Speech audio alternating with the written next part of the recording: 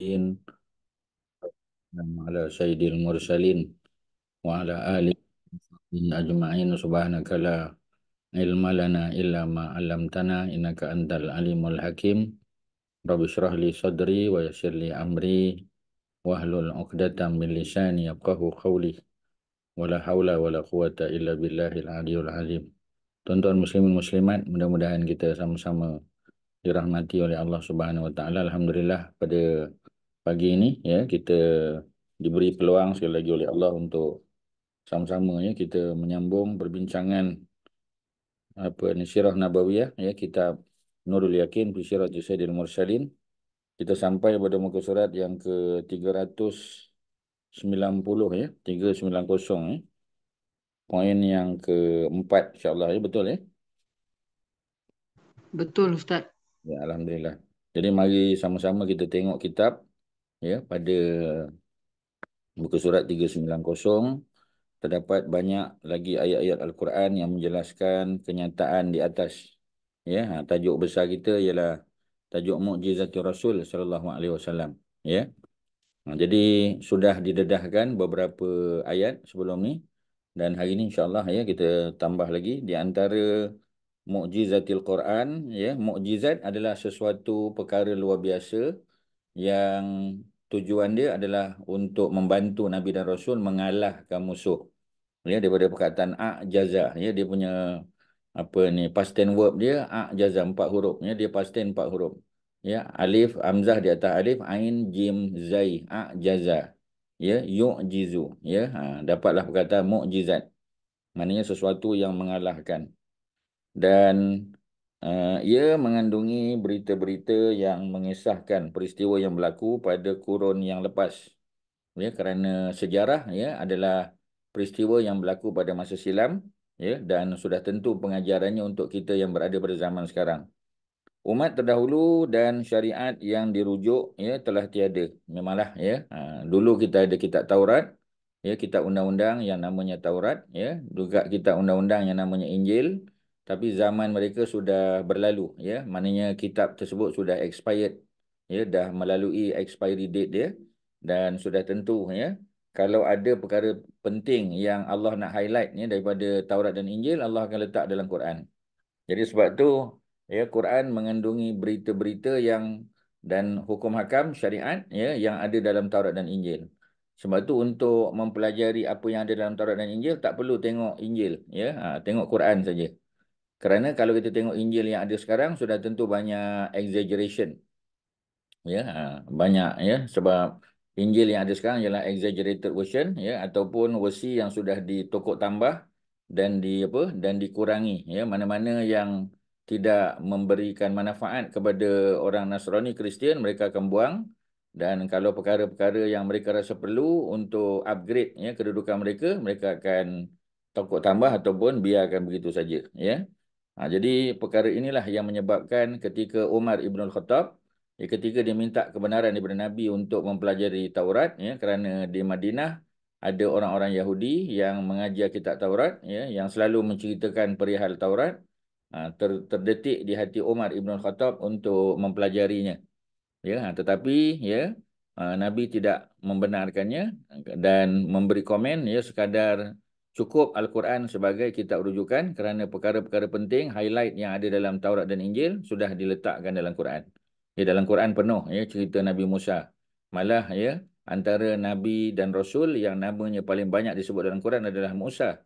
Ya, ha, sedangkan Quran untuk Nabi SAW dan umatnya. Mengapa pula perlu disebut ya, perkataan Musa lebih daripada 150 kali? Sedangkan ya nama Nabi sallallahu alaihi wasallam ya disebut tak sampai 50 kali. Ha, jadi maknanya ya mesti ya mesti ada sesuatu yang Allah nak sampaikan. Nak bagi tahu bahawasanya semua nabi dan rasul yang silam kita iktiraf. Ya, recognition kepada semua nabi dan rasul adalah jelas dalam al-Quran. Jadi makna kita bukan beriman kepada Nabi Muhammad sallallahu alaihi wasallam saja tapi beriman dengan semua nabi-nabi dan rasul yang namanya tercatat dalam Quran ataupun tidak ataupun disebut dalam hadis-hadis nabawi yang sahih ya Kemudian apa yang dinyatakan oleh Al-Quran mengenai perkara tersebut walaupun satu kisah saja tidak dapat diketahui kecuali oleh pendeta ahli kitab yang cerdik dan menghabiskan usianya untuk perkara tersebut. Ya, dengan itu perkara tersebut dikemukakan oleh Rasulullah kepada mereka berdasarkan peristiwa yang benar-benar telah berlaku. Maka ahli kitab yang tahu peristiwa tersebut akan mengiktiraf kebenaran dan kesahihannya. Ha, jadi Nabi tidak hidup pada zaman Nabi Musa. Malah Nabi tak hidup zaman Nabi Nabi Isa AS. Antara ya, Nabi Isa, kelahiran Nabi Isa dengan Nabi Muhammad SAW itu ada 570 tahun kerana Nabi Muhammad SAW lahir pada tahun 570 sebagai riwayat sebut 571 ya ha, jadi maknanya hampir 600 tahun antara Isa dengan Nabi Muhammad setelah Nabi Isa diangkat ke langit pada usia 33 tahun tak ada lagi Nabi dan Rasul in between Nabi Isa dengan Nabi Muhammad tak ada ya jadi maksudnya dunia sangat berhajat kepada seorang Nabi dan Rasul yang akan memandu mereka dengan bimbingan wahyu ya Nabi Muhammad lah ya orangnya Kemudian apa lagi? Jadi apabila sesuatu berita itu ada ya dalam Al-Quran, kemudian Nabi sebut dan ya orang-orang apa ni pendeta dia ya di kalangan uh, para ulama ya yang mengkaji secara ikhlas apa yang ada dalam kitab Taurat dan Injil, ketika Nabi sebut, Nabi quote ya perkara-perkara tersebut, mereka akan mengiyakan. Ya, ha, kerana apa? Kerana mereka adalah orang yang mencari kebenaran. Ya, sebab tu Salman Al-Farisi ya, yang pernah beragama Majusi kemudian pergi ke negeri Syam belajar agama Nasrani masuk agama Nasrani dia dengar daripada pendeta dan padri ya bahawasanya akan muncul nabi akhir zaman di sebuah tempat yang dipenuhi dengan pokok kurma pokok tamar ya. Ha, dan lokasi tersebut adalah Madinah ya. Maka dia datang untuk mencari kebenaran. Dia termasuk seorang lelaki yang kita panggil uh, apa among the seekers of truth ya. Dia datang tapi ditangkap oleh orang Yahudi. Dia di di apa di di dipaksa untuk bekerja ya. Menanam pokok kurma sampai berbuah ya sebagai satu cara untuk dia membebaskan diri dia memerdekakan diri dia dibantu oleh nabi dengan apa ni berkat ya tangan Nabi sallallahu alaihi wasallam yang menanam pokok-pokok kurma tu maka tumbuh dengan cepat. Tak perlu tunggu sampai 7 8 tahun. Ya ha, tak sampai setahun Nabi tanam Nabi bantu Salman dan apa ni tumbuh pokok berbuah pokok tu. Dan akhirnya dia dibebaskan kita tahu ya. Jadi Salman Al Farisi dia sudah tahu bahawasanya Nabi sallallahu alaihi wasallam ni ada tanda kenabian di belakang bahunya. Antara dua bahu Nabi itu ada ya sebesar apa ni apa kita panggil saiz telur puyuh ya dalam sebahagian apa kitab Syama'il Muhammadiyah ya Imam At-Tirmizi menyebut sebesar apa ni telur apa kita panggil saiz telur burung merpati ada dua riwayat satu hamamah ya, hamamah merujuk pada burung merpati. Satu lagi ialah disebut sebagai hajalah ya. Ha, hajalah itu adalah burung puyuh. Ha, jadi maknanya tanda-tanda itu sudah disebut ya dalam kitab kitab Injil. Jadi bila dia datang jumpa Nabi, dia berusaha untuk melihat ya kebenaran tu. Ya, jadi bila dia tengok kebenaran tu, dia tahu bahawasanya ini adalah kebenaran yang hakiki. Maknanya bukan di tokok tambah ya. Kerana apa? Kerana macam tadilah kita kata dalam bab yang berkaitan dengan apa dengan apa ni kebenaran ya, apabila mereka tahu kebenaran itu daripada Injil dan mereka tengok depan mata mereka mereka akan mereka akan kata bahawasanya ini adalah benar dan sahih ya proses pembelajaran tidak mampu mengajar perkara seumpama itu. Maknanya kalau kita sekadar belajar belajar daripada apa buku-buku tulisan manusia kita takkan dapat. Melainkan kalau kita baca kitab yang diturunkan dari langit. Ya kita panggil kutub samawiyah. Ya ha, buku-buku yang diturunkan diwahyukan daripada langit. Ya dan sesungguhnya mereka tahu bahawa Rasulullah adalah orang yang tidak tahu membaca dan menulis. Memang Allah buat di peringkat awal sebelum peristiwa Isra dan Mi'raj pada tahun yang ke-11 Hijrah eh sebelah kenabian ya the first 10 years of nabi punya nubuah tu nabi tak boleh baca menulis ya sebab itu mereka tak boleh tuduh nabi yang tulis Quran mereka tak boleh kata nabi ada akses pada Taurat dan Injil ya ha, sebab itu itu perkara luar biasa Ya, bagaimana mungkin Nabi yang la yakra wa la yaktub ya tidak boleh baca dan tidak boleh menulis tiba-tiba boleh bawa berita-berita yang berlaku ya ribuan tahun yang lalu. Ha, maknanya kalau cerita Nabi Isa aja pun sudah uh, hampir 600 tahun ya. Cerita Nabi Musa lebih daripada 1300 tahun. Ya, ha, campur dengan zaman Nabi ya, maknanya hampir 2000 tahun ya antara Nabi Muhammad sallallahu alaihi wasallam dengan Nabi Musa. Kalau kita Uh, menerima ya Nabi Musa itu hidup pada zaman Ramses second lah. Tapi kalau kita terima Nabi Musa itu hidup sebelum tu, ya, ha, jadi lebih lama lagi, lebih jauh lagi jarak dia. Jadi perkara-perkara tersebut sudah tentu Nabi tak tahu kerana Nabi tak boleh baca buku, ya. Nabi tidak pernah belajar daripada mana-mana padri ataupun learning center, Jadi maklumat yang Nabi dapat, info yang Nabi dapat sudah tentu datang pada wahyu. Ya, itu adalah the only channel yang kita kata Nabi boleh dapat. Lain pada tu tak ada bukti Nabi pernah belajar, Nabi pernah pergi ke madrasah belajar dengan siapa-siapa, ya. Nabi boleh baca kitab Taurat Injil, Nabi boleh baca tulisan tak ada tuan-tuan. Tak ada bukti, ya, dan tidak ada kebenarannya. Jadi oleh kerana itu, ya, orang terpaksa percaya bahawasanya semua yang Nabi tahu tu adalah daripada Allah Subhanahu Wa Taala. Malah ada perkara yang berlaku pada zaman Nabi, Nabi tak boleh selesaikan. Nabi tak boleh selesaikan. Sebab apa Nabi tak boleh selesaikan? Sebab wahyu belum turun. Ya, ha, bila Aisyah ya kita tahu ya apa ni beliau telah dituduh ada hubungan sulit dengan Safwan bin Mu'attal ya dalam peristiwa Aisyah tertinggal kan dalam peperangan Bani Mustalik ya ataupun peperangan Muraisik ya. Muraisik nama tempat Bani Mustalik adalah kabilah yang berperang dengan Nabi ya. Ha, jadi peristiwa yang kita kata tertinggalnya Aisyah itu ya tidak disedari oleh para sahabat termasuk Nabi pun tak sedar. Dan akhirnya Safwan yang bertemu dengan Aisyah dia bawa balik Aisyah bersama dengan unta yang ditunggang oleh Aisyah. Dia tarik di bawah ya ha, sampai ke Nabi orang-orang apa ni munafik antaranya Abdullah bin Ubay melihat dan dia jadikan itu isu besar.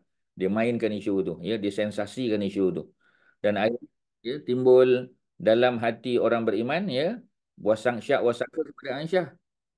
Ya ha, jadi bila Aisyah bertanya kepada Nabi adakah Nabi percaya ya desas-desus yang sedang beredar di kalangan masyarakat pada masa itu? Nabi tak boleh jawab. Nabi cuma kata kalau engkau melakukannya Aisyah bertaubatlah kepada Allah dan kalau engkau tidak melakukannya pasti Allah akan membenarkan kau ya. Ha, jadi kata-kata Nabi itu menyebabkan Aisyah terasa hati. Pasal Nabi sebut ya kalau engkau buat maka bertaubatlah. Sedangkan Aisyah tak terlibat.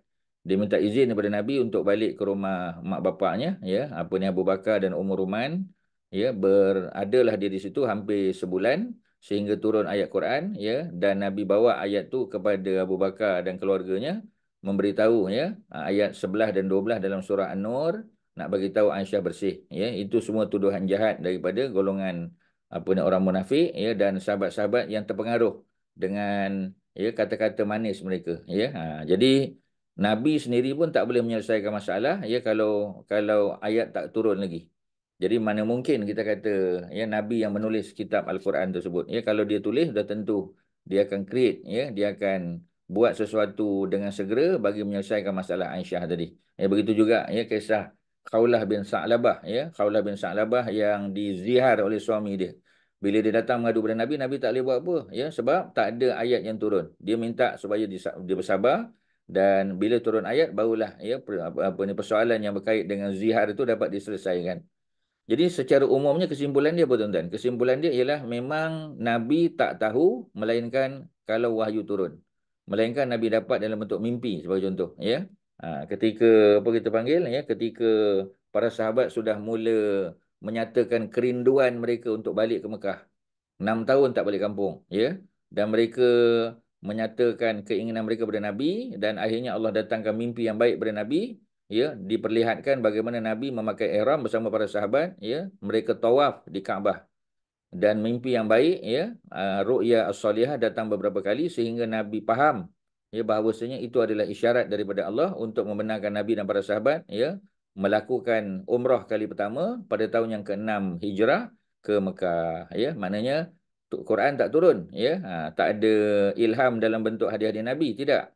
Tetapi dalam bentuk dalam bentuk dia mimpi dalam tidur baginda. Dan mimpi-mimpi begini ada banyak berlaku pada nabi termasuklah ya untuk melakukan umrah tadi. Dan mimpi yang baik juga datang daripada para sahabat ya ha, kepada Abdullah bin Zaid ya apabila Abdullah bin Zaid ya beliau bermimpi didatangi oleh seorang lelaki ya ha, lelaki berpakaian serba putih yang nabi kata itulah malaikat ya dan pada waktu itu nabi dan para sahabat sedang me, apa kita panggil ya me, membincangkan isu bagaimana nak panggil orang datang sembahyang. Ya, masa tu azan belum disyariatkan lagi. Jadi ada yang cadang nak guna loceng, ada yang cadang nak gunakan serunai macam orang Yahudi, ya kalau loceng macam Hindu, ya macam apa ni Kristian, ya. Ada yang kata kita hidupkan api, ya ha, sebagai satu isyarat bahawasanya apa ni waktu solat telah masuk, ya dan semua pandangan-pandangan tersebut akhirnya tertolak dan datang Abdullah bin Zaid memberitahu dia mimpi bertemu dengan seorang lelaki yang mengajarkan lafaz-lafaz yang baik. Ya, ha, diajarkan kepada disebut pada Nabi, Nabi kata itulah malaikat yang datang mengajar kamu tentang azan. Kalimah azan, ya. Ha, dan Nabi suruh dia bagi tahu pada Bilal. Dan Bilal pun diajar supaya dapat melaungkan azan dan pada ketika itu datang ha, apa ni Saidina Umar Ibn Khattab yang memberitahu bahawasanya dia juga bermimpi perkara yang sama. Jadi kalau dia mimpi perkara yang sama, maknanya itu sebagai satu penguatan, maknanya sebagai satu taukid, ya, sebagai satu satu apa kita panggil? Pengesahan ya bahawasanya apa yang dimimpikan oleh Abdullah bin Zaid itu bukan satu mimpi-mimpi kosong bukan. Tetapi mimpi yang datang daripada Allah ya. Ha, dan akhirnya dia jadi syariat. Malah sekarang bila kita dengar lawangan azan ya kita duk ingat lawangan azan tu datang daripada hadis-hadis Nabi. Ataupun datang daripada ya daripada ayat Quran ya. Rupa-rupanya dia datang daripada mimpi seorang sahabi ya yang namanya Abdullah bin Zaid yang disahkan oleh Umar bin Al-Khattab Ha, jadi ada begitu tuan-tuan ya. Jadi kalau begitulah keadaannya, maknanya ya kita tak boleh kata nabi yang buat-buat. Nabi yang create ya. Nabi yang make up stories tak ada tuan-tuan ya, memang tak ada. Jadi ya yang uh, kita tahu nabi tak boleh baca dan menulis, tidak pernah belajar dan tidak menghadiri majlis ilmu, tidak pernah menghilangkan diri daripada masyarakat ya, macam kita kata hilang ya, nabi hilang selama dua tahun. Orang tak tahu ke mana pergi. Tiba-tiba balik dah full of knowledge kita kata tak pernah berlaku. Ya. Kerana kehidupan Nabi dicatat ya oleh para sahabat dan diketahui oleh orang Mekah. Mereka tahulah Nabi pergi mana. Nabi bawa barang dagangan Khadijah. Memang Nabi pernah menghilang ya, tapi menghilang tu bawa dagangan barang-barang apa ni Khadijah ke negeri Syam Nabi berniaga ya. Sebulan perjalanan pergi, sebulan perjalanan baik dah dua bulan, sebulan berada di sana mana tiga bulan ya. Dan ini biasa berlaku pada musim musim-musim haji ya. Maknanya tahun tahun apa kita panggil tahun Nabi pergi itu ialah, tahun yang yang berlakunya musim haji. Maksudnya bulan Zulkaidah bulan Zulhijjah dan bulan Muharram tiga bulan. Zulkaidah perjalanan Zulhijjah berniaga di negeri Syam kemudian Nabi balik ya daripada negeri Syam ke Mekah ya pada pada bulan Muharram. Tiga bulan yang disebut sebagai ya apa ni asyurun ya apa haram ya. Ha, jadi mana bulan haram mana bulan gencatan senjata. Ya ha, memang menghilanglah tiga bulan Nabi hilang. Tapi orang tahu dan ketika Nabi pergi, Nabi ditemani oleh Maisarah. Nabi ditemani oleh pembantu-pembantu Khadijah ya, yang sama-sama mengiringi Nabi untuk memperniagakan barang-barang Khadijah dan akhirnya bawa balik keuntungan. Dan ketika ya Nabi berada di sana, Nabi diperhatikan oleh Maisarah. Ya, Nabi dilihat oleh pekerja-pekerja lain. Jadi tak pernah pula Nabi pergi pergi ke mana-mana gereja ya ataupun kita kata temple ya untuk Nabi belajar daripada mana-mana pendeta ataupun padri tak pernah. Ha, jadi oleh kerana itu tak ada bukti lah. Ya. Kalau ada, itu adalah cerita-cerita palsu, cerita bohong. Okey, ya, itu cerita Nabi.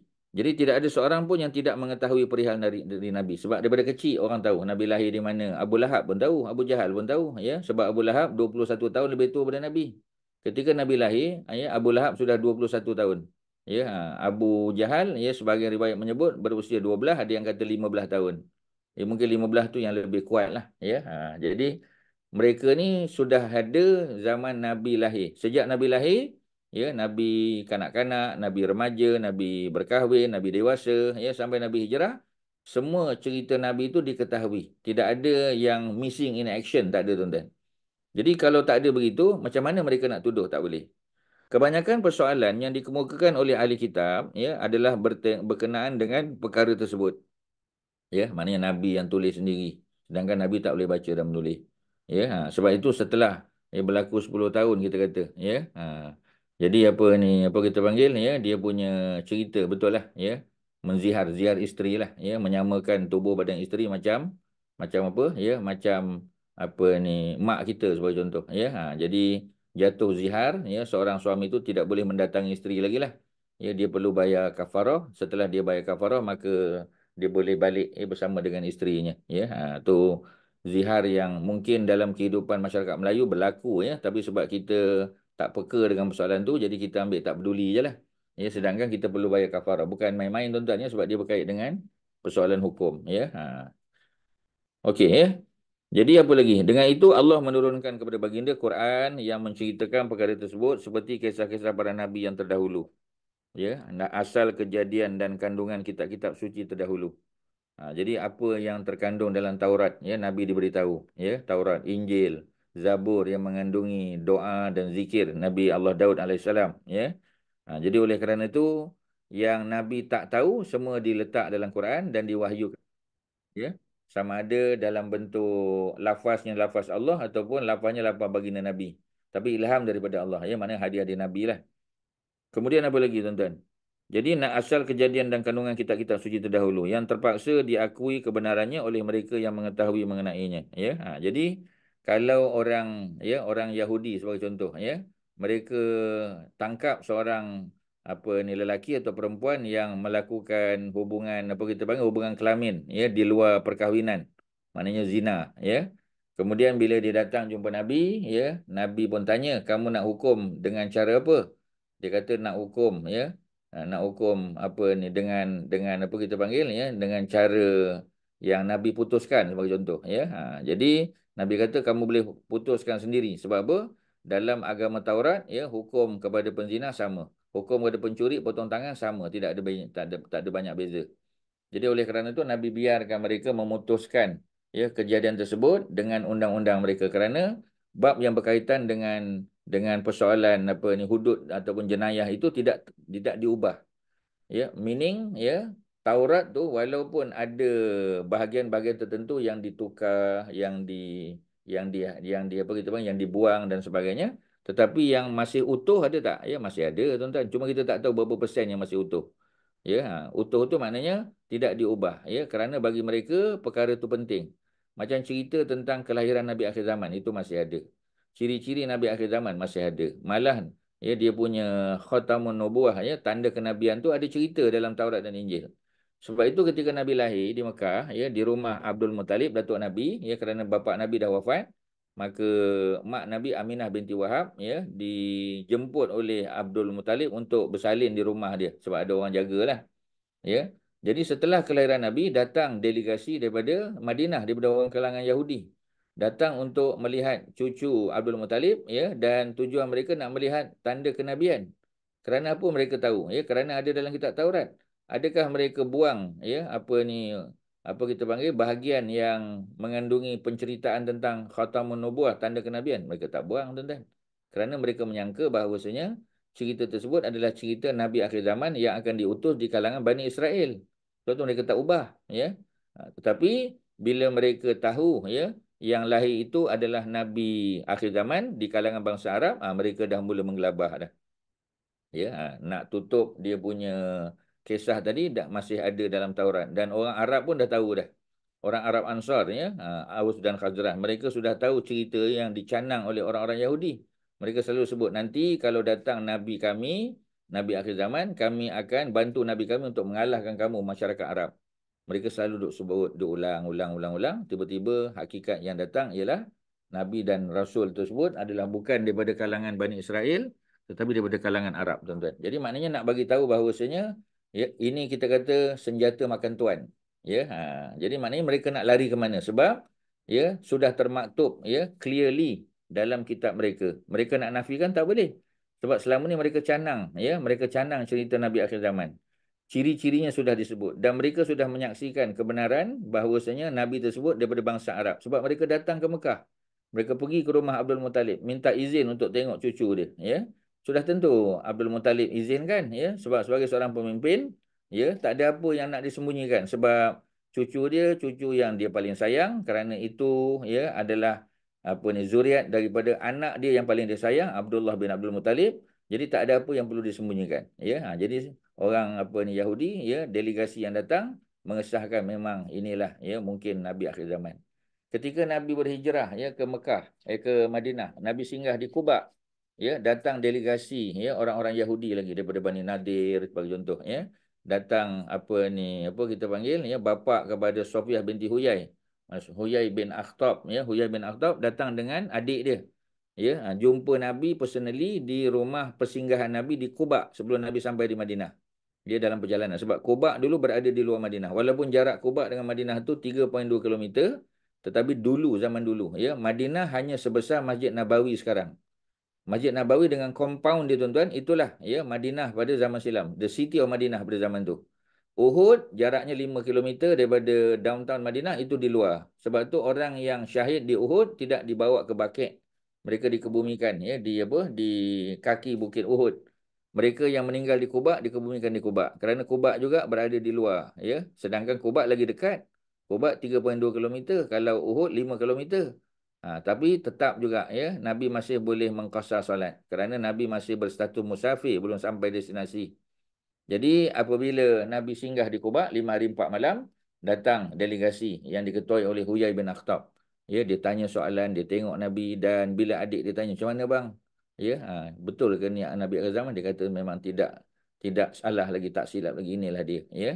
Bukan dia beriman, tapi dia kata kita akan usaha untuk menjatuhkan dia, untuk membunuh dia. Maknanya niat jahat itu sudah terpasang sejak awal lagi. Ya, tetapi bila datang seorang apa ni alim ya scholar ya Jewish scholar yang kita panggil sebagai Husin bin Husin bin Salam ya ha, yang nanti Nabi tukar namanya kepada Abdullah bin Salam setelah masuk Islam. Dia datang dia tanya beberapa soalan kepada Nabi dan Nabi boleh jawab dan dia tahu bahawasanya ya jawapan Nabi itu adalah jawapan yang sahih. Kerana Nabi yang disebut sebagai Nabi akhir zaman la yaqra wa la yaktub, tak boleh membaca dan tak boleh menulis. Ya, yang dia boleh ya adalah menerima wahyu. Maksudnya bagaimana mungkin ya dia boleh menjawab soalan-soalan daripada Taurat sedangkan dia tak pernah baca Taurat? ya Nabi Muhammad tak ada akses kepada Taurat tak pernah baca dan tak pernah dengar kuliah ya ha, orang-orang ha, Bani Israel cerita tentang tentang apa ni tanda-tanda kenabian ya. Ha, ataupun soalan-soalan yang ditanya oleh Abdullah bin Salam tadi. Memang Nabi takkan tahu melainkan melalui wahyu ya. Sebab tu Allah buat Nabi yang lahir adalah orang orang Arab yang walaupun ya Abdul Muttalib datuk Nabi itu mak dia orang Madinah tapi Nabi tidak lahir dan besar di Madinah ya. Nabi lahir di Mekah ya supaya Nabi jauh daripada Bani Israel daripada orang Yahudi kalau Nabi lahir di di Madinah Nabi duduk dalam circle orang-orang Yahudi selalu dengar ceramah orang Yahudi daripada kitab Taurat maka tak peliklah kalau Nabi tahu cerita-cerita tentang Nabi Musa ya nabi-nabi terdahulu ha, jadi Allah buat Nabi jauh ya daripada Jewish circle ya daripada apa circle of knowledge ya ha, sebab Nabi tak tahu cerita tentang tentang apa tentang Taurat dan Injil ya melainkan apa yang diwahyukan kepada Nabi nanti. Jadi selamatlah Nabi tuan-tuan. Mana Allah tutup semua pintu-pintu yang boleh membawa kepada fitnah dan dan apa kita panggil dan tuduhan orang. Tak boleh. Nak kata macam mana? Ya Nabi tidak tak pernah belajar daripada mana-mana apa scholar pada masa itu. Tak pernah. Nabi tak pernah dengar ya melainkan datang daripada daripada langit ya. Tapi kalau sahabat-sahabat yang daripada, daripada Madinah, contoh macam Ubay bin Ka'ab kita kata. Ya, imam yang bersuara sedap, yang Sayyidina Umar lantik dia sebagai imam solat tarawih. Ya, jadi beliau daripada kalangan kalangan apa ni uh, apa kita panggil ansor yang pernah belajar daripada orang-orang Yahudi yang boleh membaca dan menulis. Ya, sebab tu Ubay bin Ka'ab termasuk salah seorang penulis Al-Quran. Ya, seperti mana Zaid bin Sabit kan. Jadi dia sudah biasa dengan cerita-cerita daripada kitab Taurat. Sebab itu bila Nabi sebut, dia kata aku pernah dengar orang Yahudi sebut dulu. Ha, dia dah tahu dah. Ya. Begitu juga tentang Tamim Ad-Dari. Tamim Ad-Dari adalah orang Kristian, orang Arab yang tidak datang daripada Madinah tapi sudah beragama Nasrani. Biasa dengan maklumat daripada kitab Nasrani. Jadi bila dia datang ke Mekah, eh, ke Madinah, dia masuk Islam, sebahagian apa ya yang yang Nabi tanya dia boleh jawab sebab dia dah tahu daripada kitab Injil. Maknanya tuan-tuan, Allah buat Nabi tidak duduk, ya tidak lahir, tidak membesar dalam circle ya orang-orang Kristian ataupun orang-orang Yahudi. Ya, jadi maknanya Nabi selamat daripada tuduhan. Tak boleh. Orang tak boleh nak tuduh, tuan-tuan. Tak ada ruang. Ya, tak ada, apa kita panggil, tak ada point yang mereka nak kata, Nabi dengar, Nabi belajar. Ya, ha, tak ada, tuan-tuan. Jadi selamat. Ya, selamat Quran, terjaga Quran dan selamat Nabi daripada semua tuduhan tersebut. Jadi maknanya, ya, bila dikemukakan oleh ahli kitab, ya, berkenaan kepada tersebut, Nabi boleh jawab. Ya, Allah turunkan kepada baginda Al-Quran yang menceritakan perkara tersebut. Jadi, as and when ya bila ada persoalan mereka tanya macam contoh surah kahfi kan ya jadi orang-orang Mekah ya sebab mereka nak pastikan Muhammad ni betul Muhammad ni nabi dan rasul mereka pergi ya mereka engage consultant daripada Madinah. Mereka pergi Madinah jumpa dengan padri-padri ya mereka claim ya mereka kata bahawasanya di kampung kami di Mekah ada seorang lelaki berbangsa Arab daripada kalangan Quraisy. Dia claim dia adalah seorang nabi dan rasul ya. Kalau betul lah dia nabi dan rasul ya kami nak supaya apa ni orang-orang Yahudi bantu kami kemukakan beberapa soalan yang boleh kami tanya kepada Muhammad untuk test dia untuk tengok betul-betul tak dia tahu tentang benda-benda ni kerana dia tak boleh baca dan menulis ya Ha, jadi orang-orang Yahudi bagi beberapa soalan. Antaranya ialah soalan tentang tujuh pemuda tidur dalam gua. Yang kedua cerita tentang Zulkarnain, ya seorang raja yang menguasai timur dan barat, ya. Dan siapa dia? Ia tanya pada Muhammad. Nombor tiga, ya soalan yang datang daripada surah surah apa? Kita panggil surah Al-Isra, cerita tentang roh. Ya, wa yas'alunaka 'anir ruh. Qulir ruhu qulir ruhu min amri rabbi, ya wa ma utitu minal ilmi illa qalila. Jadi maknanya ada dua soalan daripada surah surah apa ni Al-Kahfi dan satu soalan daripada surah surah Al-Isra surah 17. Jadi maknanya bukan semua soalan yang dalam Al-Kahfi itu adalah soalan yang ditanya oleh orang Yahudi, ya. Itu adalah kebijaksanaan Allah Subhanahu Wa Taala memasukkan kisah dua lagi. Ya kisah apa ni Nabi apa Nabi Nabi Musa bersama dengan dengan Yusha bin Nun dan Nabi Khidir, ya. Satu lagi ialah cerita tentang dua orang adik-beradik yang dapat harta pusaka. Jadi cerita tu tidak ditanya oleh orang Yahudi. Yahudi hanya tanya cerita pertama Zulkarnain ya, apa cerita cerita terakhir cerita Zulkarnain dan cerita pertama ialah tujuh pemuda tidur dalam gua. Satu lagi soalan tentang roh. Ya, tiga soalan ni diberi kepada orang Arab, orang Arab Quraisy balik, mereka tanya kepada Nabi. Nabi tak boleh jawab, ya. Ha, jadi mereka bertikailah, kata Nabi dan Rasul, pasal apa tak boleh jawab? Sebab isunya ialah bila ya nabi mendapat persoalan bukan nabi sendiri yang tulis. Nabi kena tunggu wahyu turun. Kalau sebulan tak turun sebulanlah. Kalau dua minggu dua minggulah ya. Ha, sebab eh, yang nabi dapat tu wahyu ya. Ha, bukan mana semua benda sudah diketahui ya kerana apa? Kerana Taurat dan Injil turun sekaligus sedangkan Quran turun pada masa nabi di Mekah 13 tahun dan masa nabi di Madinah 10 tahun 23 tahun. Dalam jarak masa 23 tahun. Ya turun as and when. Ya ha, maknanya apa ni as needed. Ya bila diperlukan turun. Ya respon daripada Allah. Kadang-kadang Allah nak bagi tambahan ilmu tambahan wahyu. Ya kita panggil idkhal ilahi. Tapi kalau yang lain-lain ya diturun berapa bila perlu cerita persoalan tentang ashabul kahfi turun cerita ashabul kahfi ya.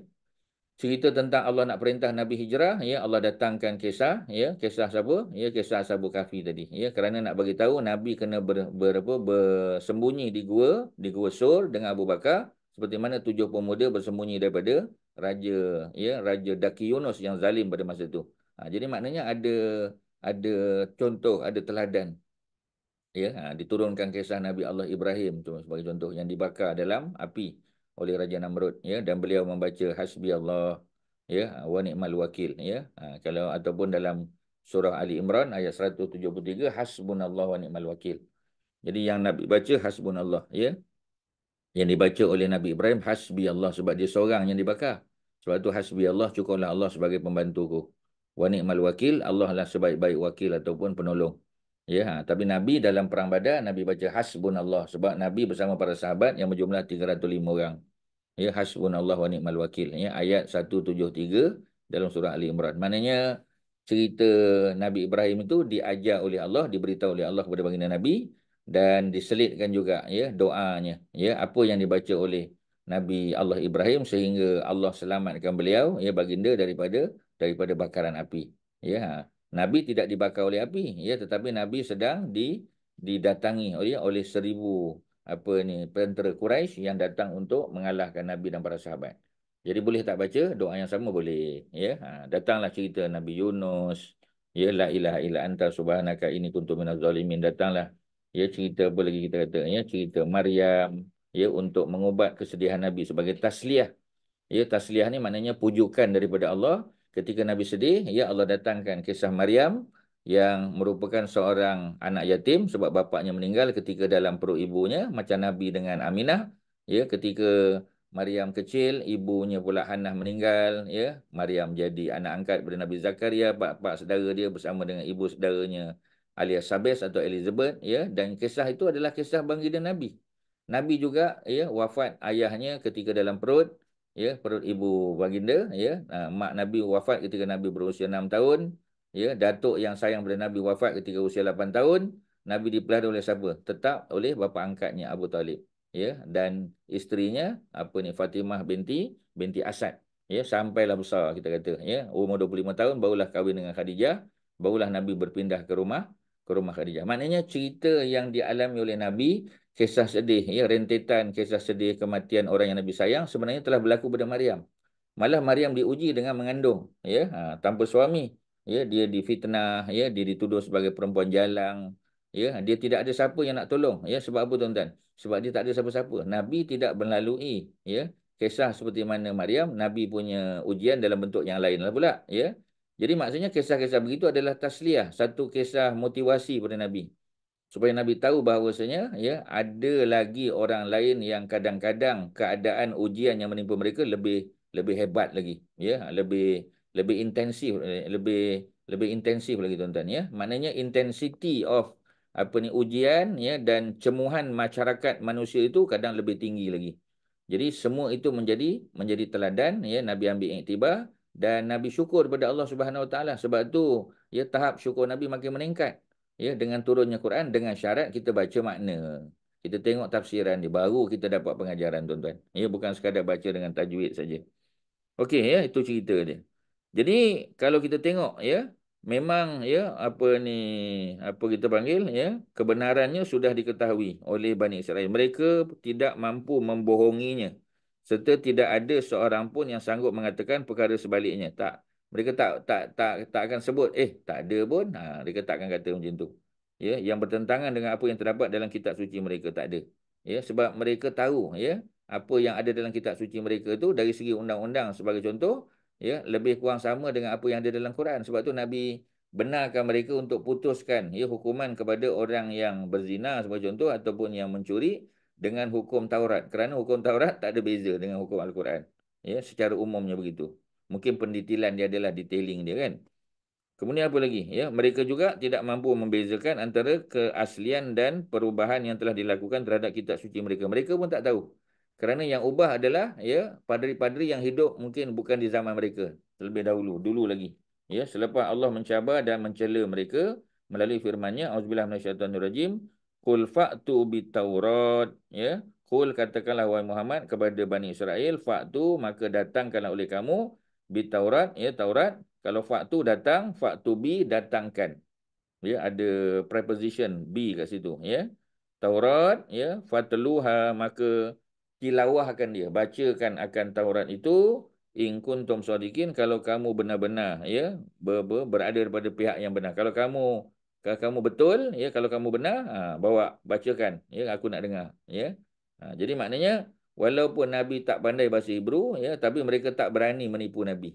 Tak berani tuan-tuan ya. Patutnya mereka boleh create aja ya. Ayat ni makna apa ayat ni makna apa boleh ya. Ha, tetapi mereka tahu di kalangan ya sahabat nabi ada Abdullah bin Salam yang telah memeluk Islam. Ya, ada Zaid bin Sabit yang telah mempelajari bahasa Hebrew. Jadi mereka boleh mengetahui ya, kalau apa yang mereka cakap tu mereka terjemahkan itu adalah pembohongan. Seperti mana ya, kita kata sebelum Zaid bin Sabit mempelajari bahasa Hebrew, ya, orang-orang Yahudi ya ketika di-engage oleh Nabi untuk menterjemahkan apa yang dibicarakan oleh Salman Al-Farisi.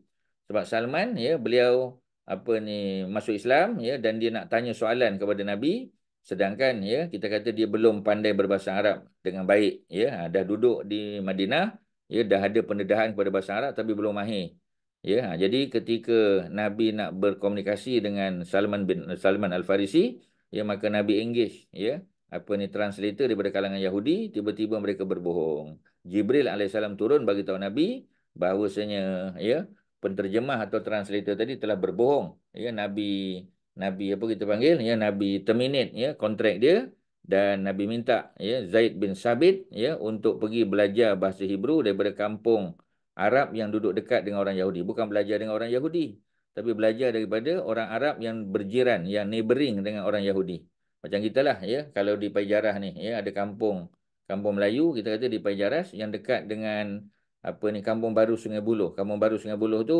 ya ada dulu New Village lah. Zaman-zaman apa ni komunis zaman penjajah dulu kan. Ya, dia ada perkampungan ya.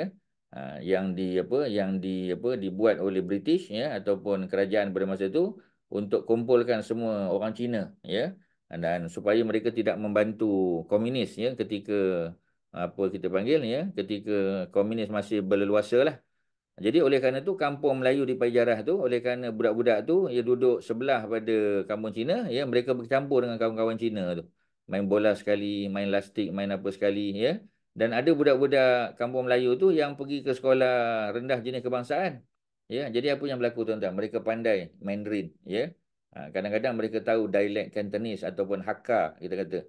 Ha, jadi sudah tentu ya, ha, mereka ni pandai sebab apa? Sebab pendedahan mereka ya kepada kawan-kawan daripada bangsa Cina. Macam itulah Zaid bin Sabit tuan-tuan ya. Jadi Nabi tak suruh dia belajar pada Yahudi, tak boleh percaya belajar daripada orang Arab di kalangan Ansar yang duduk bersebelahan dengan kampung Yahudi. Yang ada, ya dulu ada, kita kata ada buat perjanjian damai ya, dengan orang Yahudi. Ha, jadi daripada mereka tu, Zaid bin Sabit belajar, dia kata aku habiskan dua minggu. Ya, ha, aku habiskan dua minggu ya untuk belajar ya sebab pada masa itu dia baru berusia ya mungkin sekitar apa-apa kita kata ya mungkin sekitar 13 atau 14 tahun belum akhir balik. Ya, akhir balik umur 15 kan dan dia dapat menguasai dengan baik dan dialah jadi juru terjemah Nabi, translator Nabi. Ya, dan dia juga lah jadi penulis wahyu sebab dia boleh membaca dan menulis. Dia juga diperlakukan oleh Nabi sebagai setiausaha, ya, apa ni juru tulis, ya. Dan beliau juga mahir dalam bidang matematik, ya, dan beliaulah yang telah ditugaskan untuk untuk membuat perkiraan, ya, ghanimah, ya, ha, perkiraan harta apa harta harta rampasan perang, harta pusaka Ya begitu juga pada zaman um, pada zaman Abu Bakar Siddiq ya kita dah baca dalam di Nur Islam Academy kita ya ha, tentang Abu Bakar dan Umar yang telah engage ya apa ni jasa baik Zaid bin Sabit untuk menyelesaikan persoalan yang berkaitan dengan kematian serentak. Ya kematian serentak tu bila berlaku peperangan ya dengan golongan apa murtad ya di di Yamamah ya masa zaman Abu Bakar dan pada zaman Umar ya berlaku wabak amwas ya pada tahun yang ke-18 Hijrah zaman Saidina Umar ya di mana mati ya mati 25,000 orang mati. Ya ada bapa anak datuk mati sekali ya dalam satu peperangan ya ha, dalam satu wabak penyakit tadi. Kalau yang mamah tu dalam peperangan lah. Jadi yang siapa nak mewarisi siapa? Kalau bapa mati anak warisan, anak warisi. Kalau anak mati bapa boleh warisi kan? Masalahnya kalau mati dua-dua, ya macam mana? Siapa nak waris siapa? Macam mana pula pembahagian harta dan sebagainya. Ha, jadi Zaid bin Sabit lah yang telah di-engage oleh Abu Bakar dan juga oleh Umar. Ya, seperti mana Nabi mengguna pakai ya, jasa dan kemahiran Zaid bin Sabit tu ketika membuat perkiraan ya, tentang faraid lah terutamanya. Dan harta ghanimah, ya, harta rampasan perang. Jadi maksudnya nak bagi tahu tuan-tuan, ya, boleh tak belajar bahasa asing? Memang digalakkan terutamanya kalau bahasa asing itu ada kepentingan. Ya, kita kata. Ha, terutamanya macam zaman Nabi itu bahasa Hebrew lah. Ya. Ha, sebab untuk digunakan sebagai satu sarana dakwah. Ya, ha, untuk memastikan ya, orang-orang Yahudi tidak berbohong dan tidak mengkhianati Nabi ketika mereka menterjemahkan. Ya, sebab tak boleh engage mereka. Yang di-engage oleh Nabi adalah khidmat yang ditawarkan oleh Zaid bin Sabit di kalangan sahabat Nabi sendiri. Yang sudah menguasai bahasa Hebrew dengan baik. Ya, itu cerita dia.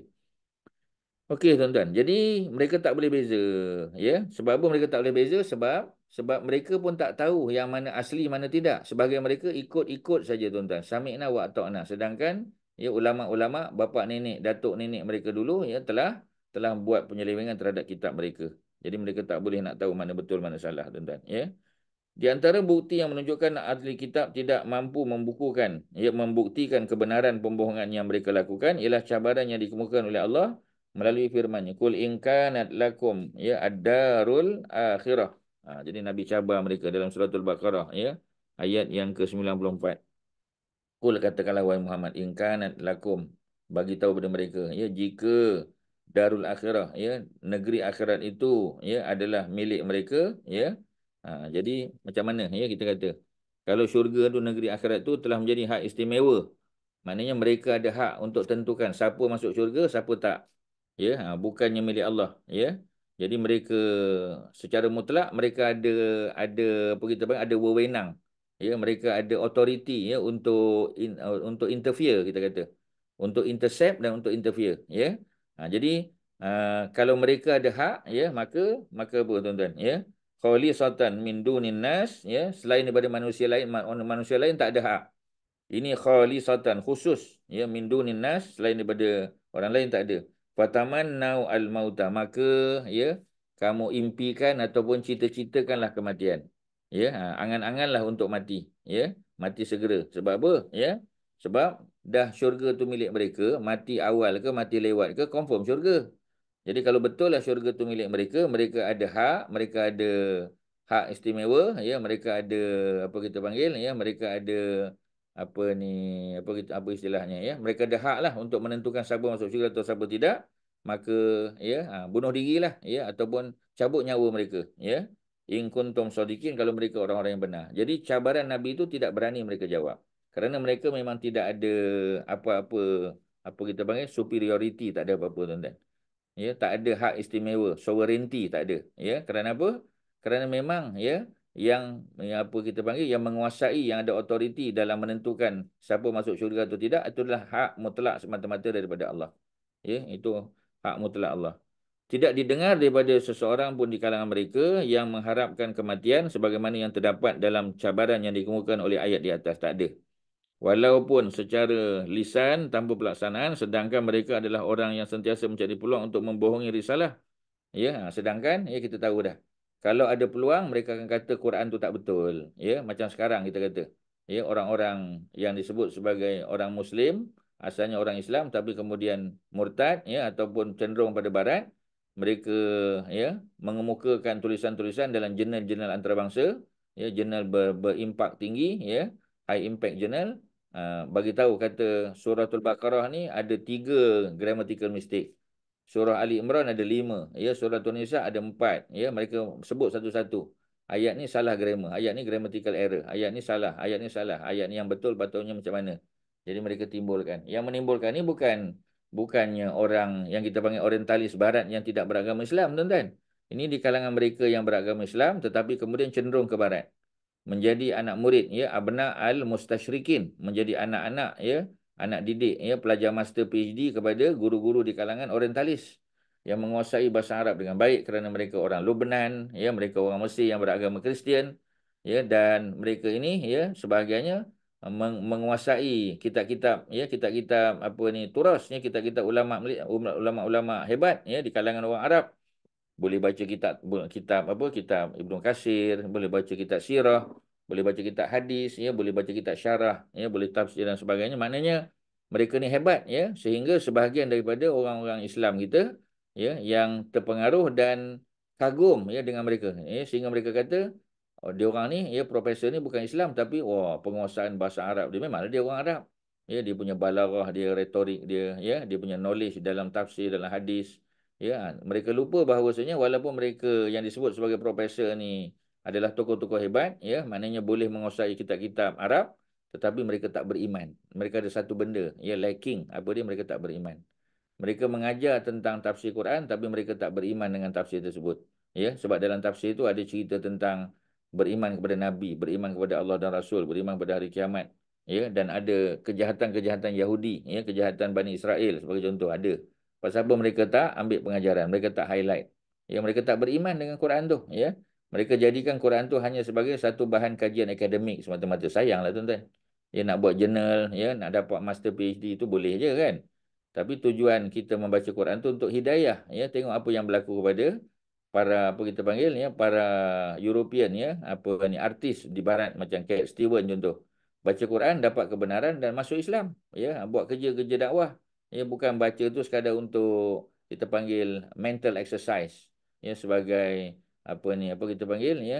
Uh, apa dalam bab akademik saja. Sekadar untuk ya untuk buat jurnal sebagai contoh publish jurnal buat buku dan sebagainya untuk jual. Bukan tu tujuan dia saja tuan-tuan. Walaupun tak salah ya untuk apa ni menulis ya untuk publish jurnal sebagai tujuan dakwah untuk buat buku dan sebagainya silakan. Ya tapi macam tadilah ya bukan tu tujuan utama ya. Itu hanya channel sarana ya untuk diguna pakai bagi berdakwah kepada orang bukan Islam. Sebab ada orang dia tak nak baca ya majalah-majalah picisan dia tak nak baca. Ya dia nak baca academic journal ya yang dipublish oleh universiti-universiti Ivy League University sebagai contoh ya. Jadi oleh kerana itu ya mereka mereka cenderung untuk baca jurnal sebab jurnal ni kajian kajian saintifik, kajian akademik ya. Ha, jadi ada footnote dia ada rujukan references yang berautoriti. Jadi mereka lebih untuk baca benda-benda macam tu tuan-tuan. Jadi oleh kerana itu, ya, bila orang Islam boleh publish benda-benda begitu, mereka akan baca. Mereka tak tahu lagi beriman atau tidak sebab itu dakwah kita. Kalau beriman tu plus point untuk kita. Tapi kalau tak, ya kita sudah dapat pahala berdakwah. Ya itu yang paling penting. Kemudian apa lagi tuan-tuan ya? Contoh yang lain ialah tindakan yang diambil oleh penduduk Najran. Ha, Najran di Yaman, ya mereka ini adalah orang-orang Nasrani. Ketika baginda ajak mereka supaya berkumpul dan berdoa agar Allah menurunkan laknat. Ya, ha, jadi maknanya ya dia panggil apa ni mubahalah dipanggil istilahnya mubahalah. Mim ba alif mubah ha lam tak merbutah mubahalah. Mubahalah ni maknanya orang Kristian dia claim dia betul. Nabi nabi dakwa nabi betul, ya. Jadi Nabi kata mari kita buat mubahalah pergi dekat satu kawasan padang, ya. Ha, maka mereka pun berkata, ya. Aku tidak bercakap melainkan benar. Kalau aku tidak benar maka Allah akan turunkan laknat pada aku. Okey, ya. Kemudian Nabi pun cakap benda yang sama. Jadi kita tunggu, ya. Laknat Allah kepada siapa? Jadi siapa yang benar Allah akan selamatkan, siapa yang tak benar Allah akan Allah akan laknat dia dengan sakit, dengan kematian segera secara tiba-tiba dan sebagainya. Jadi cabaran yang dibuat oleh Nabi itu adakah disambut oleh orang Najran ya oleh ulama-ulama mereka ya tak tuan-tuan ya ha, jadi bila bila apa kita panggil ya bila Nabi ajak ya mereka tak berani orang zalim di kalangan mereka tak berani. Penduduk Najran enggan menyahut cabaran tersebut. Peristiwa ini ya telah ya apa ni kita sebutkan penulis sebutkan Syekh Muhammad Khudari Bek pengarang kitab ni sebelum ini ketika membincangkan mengenai delegasi mereka untuk menemui Rasulullah. Ha, jadi mereka datang ya dengan diketahui oleh tokoh-tokoh padri mereka, ya menteri-menteri mereka datang untuk dialog dengan Nabi ya dan mereka boleh berbahasa Arab lah sebab mereka orang Yaman ya. Ha, jadi oleh kerana itu Nabi Nabi buat cabaran pada mereka ya. Nabi Nabi offer mereka untuk mendatangkan apa ni bukti ya ha, tapi tak ada keberanian mereka lah. Ya mereka tak nak uh, bermubahalah tadi tak berani tuan-tuan sebab mereka tahu mereka bukan berada di di pihak yang benar ya. Kemudian di antara bukti yang menunjukkan bahawa Quran bukanlah kalam manusia ialah perasaan gerun, ya, ar-ru'bu, ya, perasaan gerun seperti mana perkataan ar-ru'bu dalam surah Al-Kahfi kan kita dah pernah bincang pada minggu lepas, ya, ayat 18 surah 18. Ya, ayat 18 ya, surah dalam surah Al-Kahfi, ya, daripada surah Al-Kahfi surah 18 juga senang ingat.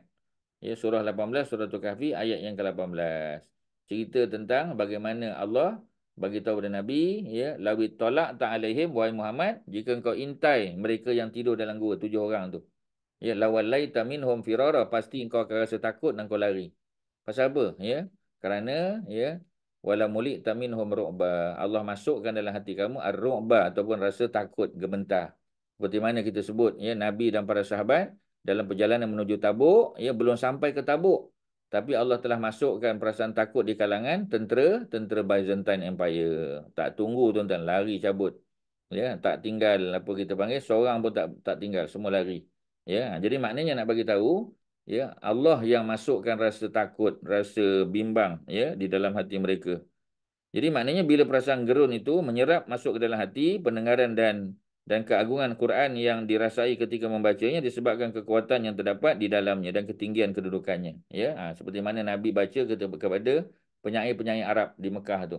Ya kepada ya kepada siapa? Kepada kita panggil apa ni Al-Walid bin Al-Mughirah ya bapa kepada Khalid yang tak masuk Islam kepada Utbah bin Rabi'ah ya ni semua pemimpin-pemimpin Quraisy yang datang daripada Bani siapa kita panggil ya Bani apa Bani Umayyah ya ha, ranking nombor dua kan dan juga Bani Makhzum ranking nombor tiga. Ranking nombor satu Bani Bani Hashim lah.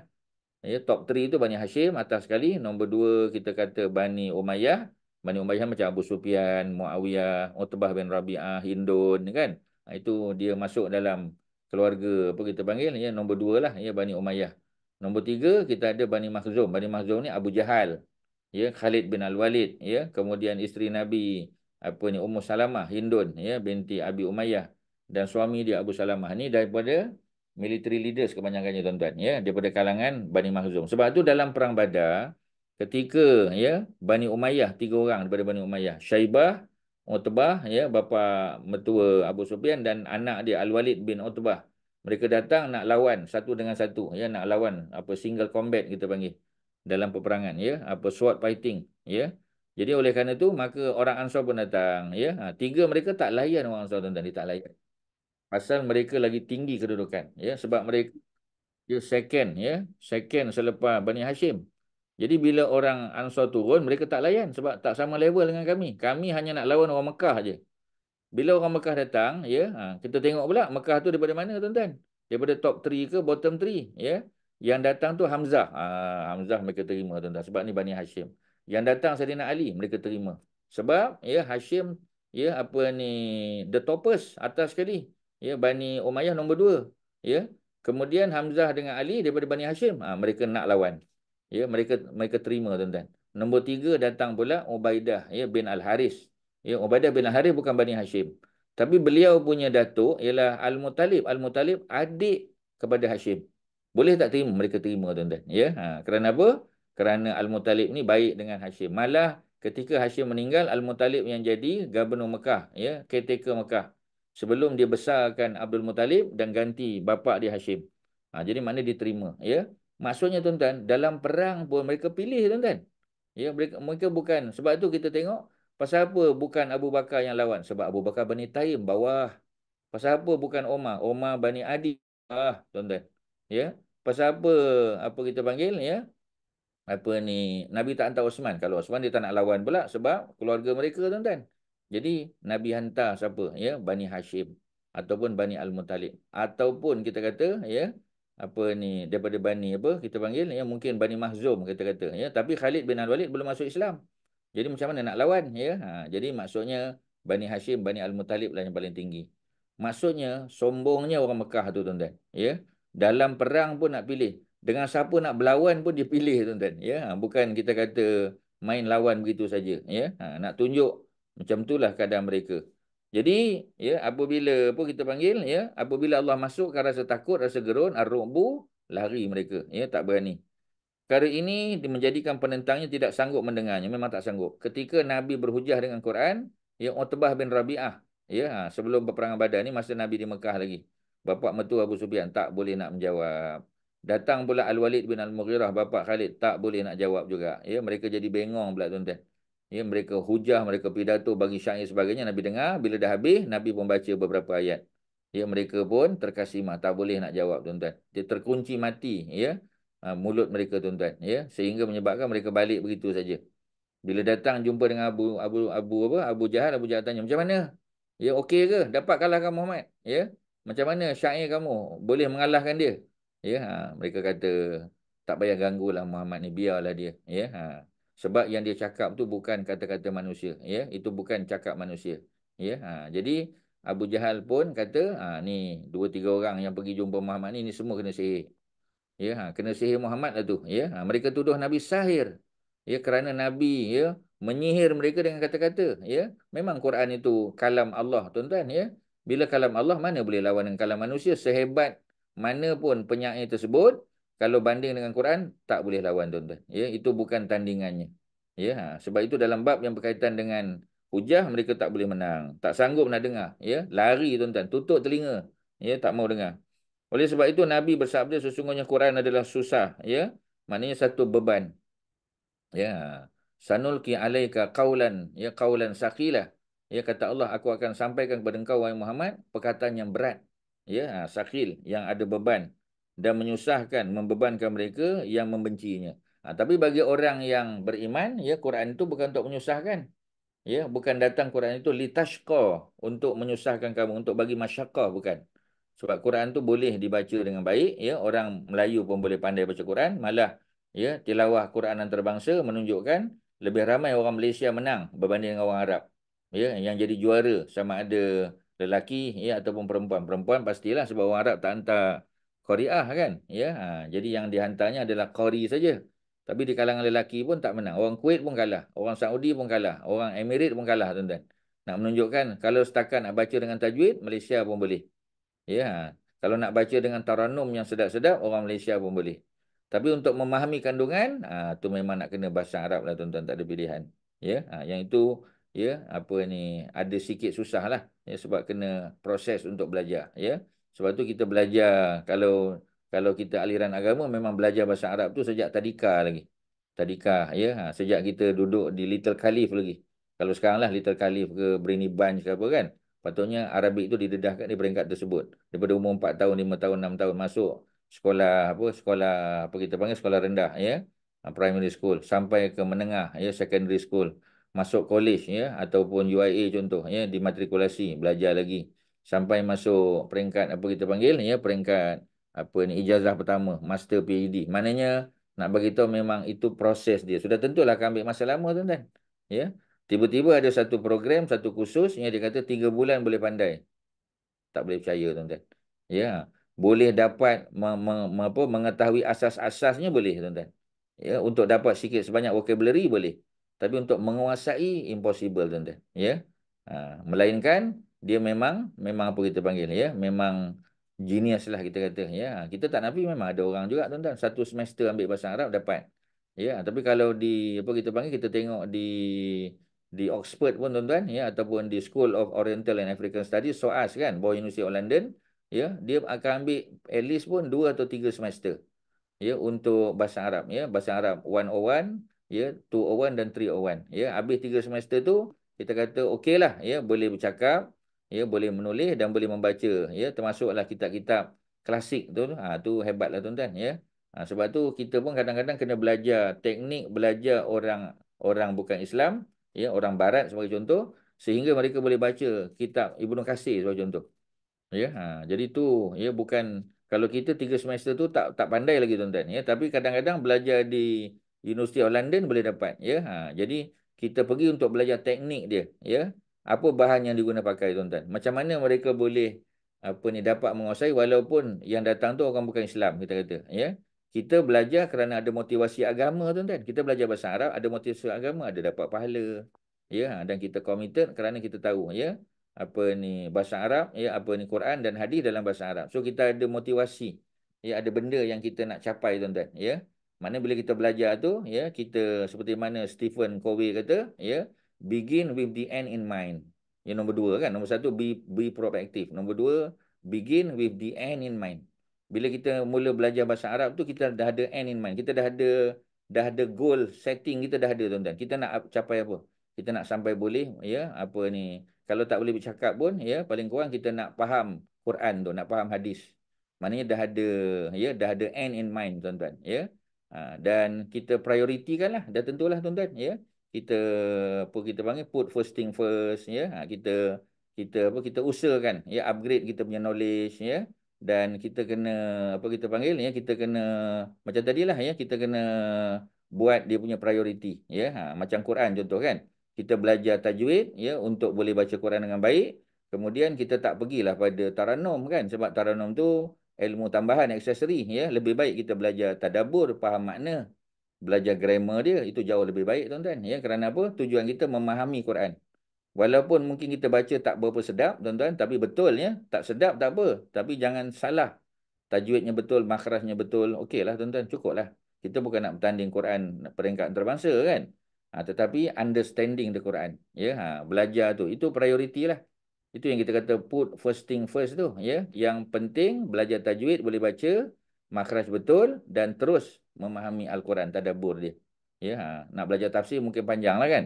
Ha, tapi tak ada berquran dengan mana-mana asasnya daripada apa kita panggil daripada apa ni terjemahan yang ringkas ya sudah memadai cukuplah tuan-tuan.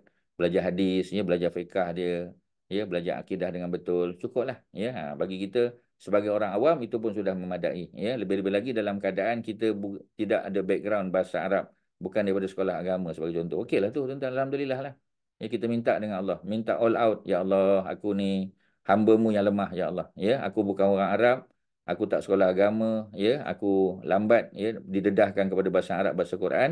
Kau mudahkanlah urusan aku ya Allah. Ya kita minta dengan Allah. All out tuan-tuan. Ya kita kena macam tadilah ya kita kena berminda positif tuan-tuan. Ya positive thinking. Jangan kata saya ni dah tua ustaz saya ni dah pencen saya. Kalau kita nak bagi alasan macam-macam alasan kita boleh bagi tuan-tuan. Dalam hidup ni stop giving excuses. Kena stop tuan-tuan ya kita cari jalan macam mana nak ya. Sebab tu orang Melayu kata ya kalau hendak seribu daya. Kalau tak nak seribu dalih. Betul lah tuan-tuan ya. Kerana apa ya? Kerana dia balik kepada kita punya positive thinking tuan-tuan. Kalau minda kita positif insya-Allah boleh. Ya biasanya macam tu ya. Dalam Islam dia memang macam tu ya. Tak peduli umur tuan-tuan ya.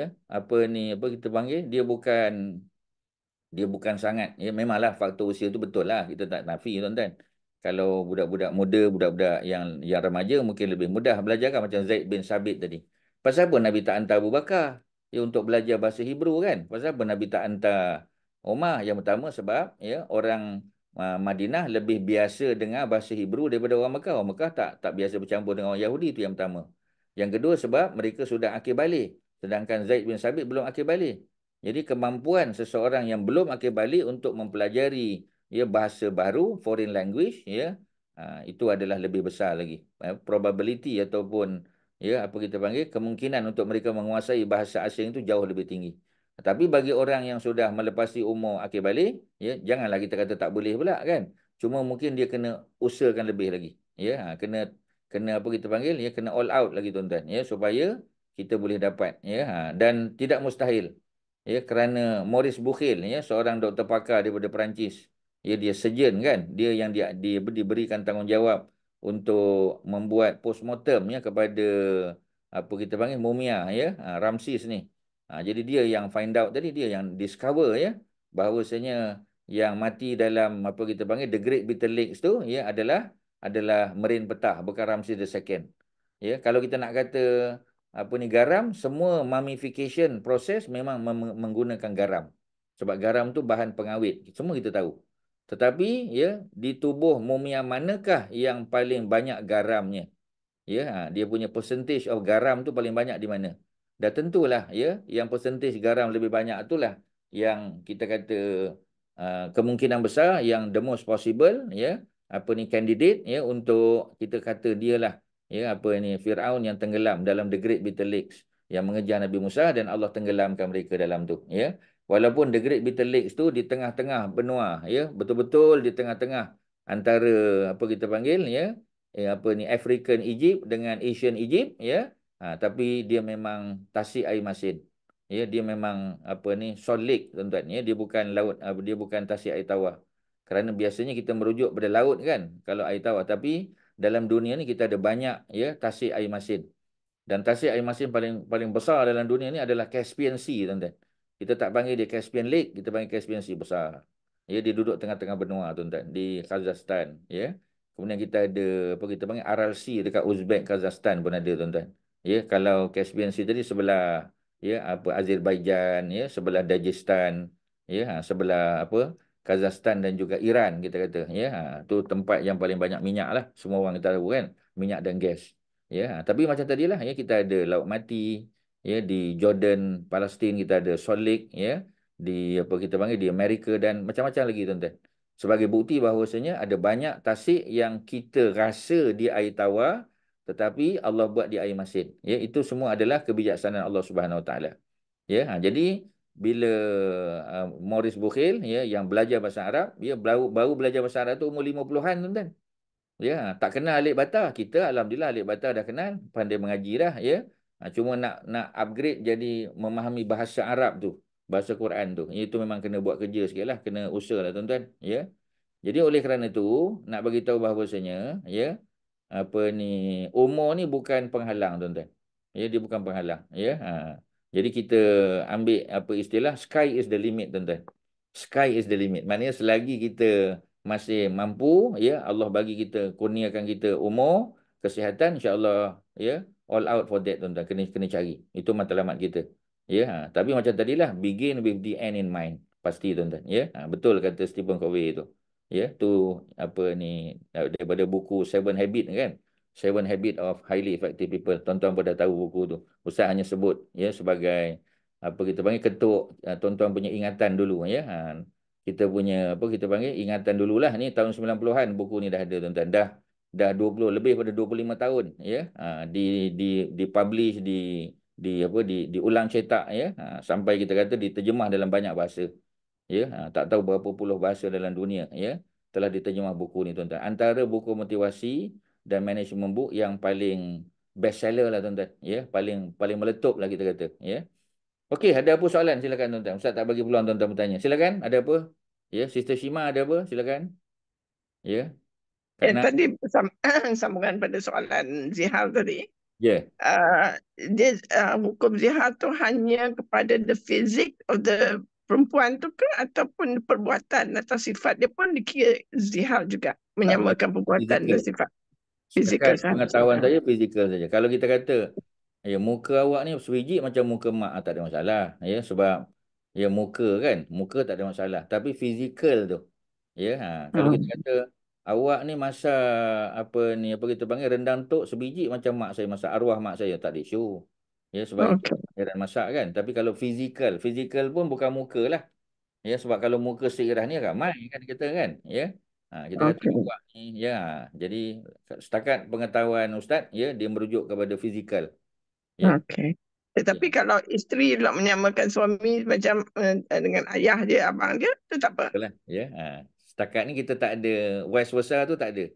Ya, macam dalam bab lelaki muslim boleh kahwin dengan perempuan ahli kitab, tapi uh, perempuan muslimah tak boleh kahwin dengan lelaki ahli kitab. Jadi macam tak adil kan kita kata, oh lelaki boleh, perempuan tak boleh pula.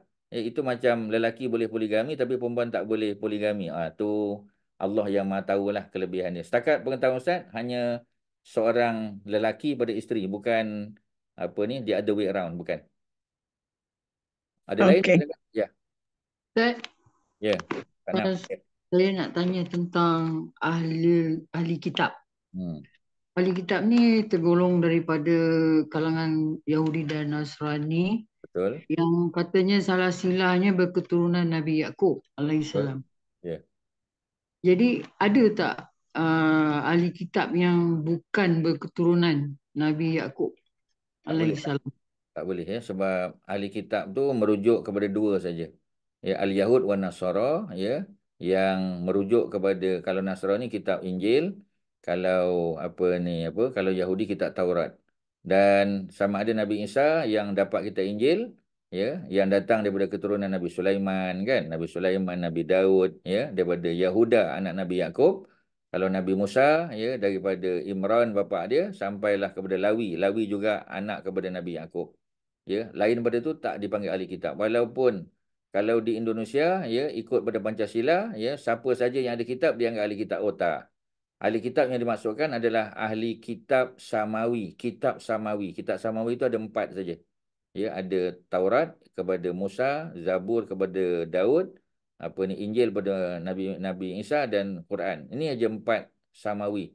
Kitab-kitab lain macam Weda, Upanishad, ya ataupun kitab-kitab lain lah, tu tidak dikira ya sebagai sebagai kitab samawi. Jadi memang kesemua mereka datang daripada keturunan Nabi Nabi Yakub alaihissalam yang kita panggil Israel tu. Ya, yeah, Kak Nak. Yang keduanya Ustaz tentang Salman Al-Farisi. Mm-hmm. Ketika dia diperhambakan oleh Yahudi, okay. tanam pokok-pokok tu. Mm-hmm. Uh, siapa yang membebaskan? Adakah Rasulullah SAW? Rasulullah bantu. ya Rasulullah keluarkan duit baginda dan begitu juga para sahabat membantu ya apa ni Salman Al-Farisi termasuklah membantu menanam pokok. Sebab Salman Al-Farisi dia punya syarat untuk membebaskan diri merdeka bukan sekadar membayar ya, membayar kita kata harta ya. Malah dia kena tanam ya, kalau tak salahnya 300 batang pokok dan make sure pokok tu berbuah dulu ya. Ha, berbuah terbukti ya pokok tu sihat elok ya, apa ni boleh mengeluarkan hasil baru dia dibebaskan.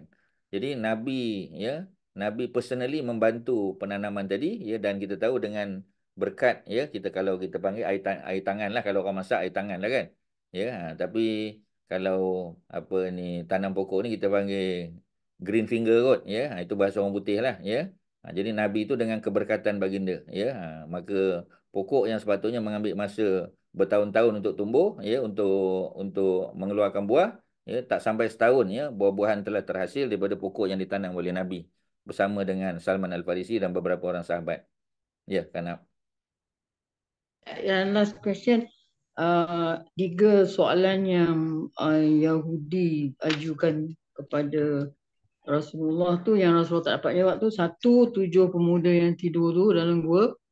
Yang kedua kisah Zulkarnain dan yang ketiga surah Isra tentang roh ya Ustaz betul ya maknanya dua soalan daripada Allah jawab dalam suratul kahfi ya tujuh pemuda dijawab dalam suratul kahfi Zulkarnain juga yang ketiga soalan yang dijawab oleh Allah dalam surah Al-Isra.